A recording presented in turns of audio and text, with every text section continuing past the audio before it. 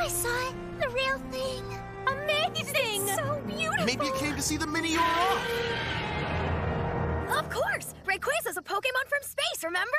You're right! Giga!